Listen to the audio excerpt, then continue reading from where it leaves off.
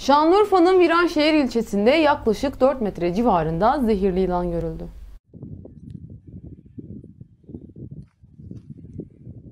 Edinilen bilgiye göre Şanlıurfa'nın Viranşehir ilçesine bağlı Aşağı Tınas Kırsal Mahallesi'nde bulunan mezarlıkta yaklaşık 4 metre uzunluğunda siyah bir yılan görüldü.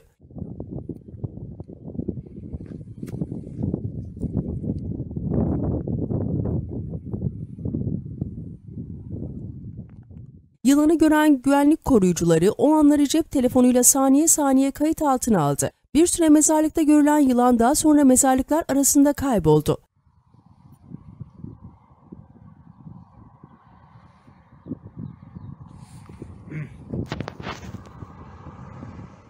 Yılanı sürekli mezarlıkta gördüklerini söyleyen vatandaşlar, bu yılan bu mezarlığın bekçisidir. Sürekli görüyoruz. Ne o bize karışıyor ne de biz ona dedi.